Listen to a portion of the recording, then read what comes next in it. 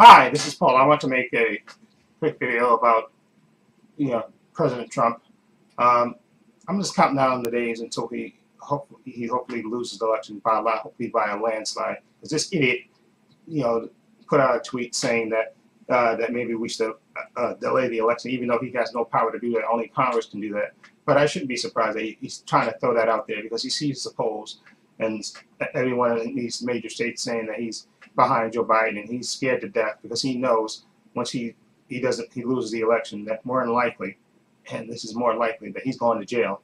Okay once he gets out of that White House okay there's a lot of people waiting with silver bracelets for him and he's scared to death. So he's trying to do anything to distract delay frustrate obfuscate and he can act like a little child all he wants to and say uh, oh the election was rigged or whatever and, so, and try to stop it and all this stuff trying to stop voting and all this stuff but at the end of the day if he tries to delay it after he loses and tries to hang out in the White House, uh, if I was Joe Biden, okay, I have the Secret Service, since you're the president-elect, I have the Secret Service grab him, but taser him, and toss his ass out right in front of the street, right in front of the White House. I do it right on, I, I tell reporters to be waiting for it.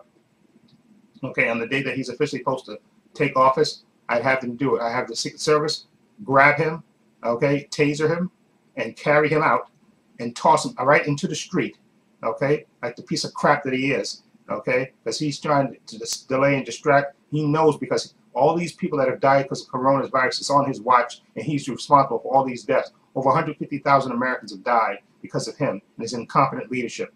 Okay, so I don't give a crap what he says about anything. He deserves to lose, and he deserve, he actually deserves to be prosecuted and put in jail uh, for the coronavirus thing alone, not all the other crimes he's committed.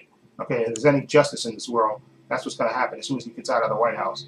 Okay, he's a piece of crap, and I, and I can't stand him, and I just can't wait until the election day is over and it's done and over. And all these idiots that follow him too, okay, you can go to jail too, right behind him too. He's a he's a freaking moron. But I wouldn't be surprised if this coward runs the Russia, okay, because he's that that's how much of a coward he is. Okay, anyway, let me know what you think. Feel free to leave comments down below.